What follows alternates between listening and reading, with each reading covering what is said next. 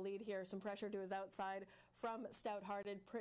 Raised the Roof Charlie has backed off of that into third. The opening quarter went in 24 and 3 as they make their way down the backstretch. It is Prince Marco a neck in front of Stout Hearted after that stumble at the start, making a run from off the pace is Mr. Agalis, who's beginning to get some steam there. On the rail is Golden Wildcat, then ways back to Tequila, Made Me Do It. Camp Coffee continues to trail the field as they go through the turn. The half went in 49 and 1.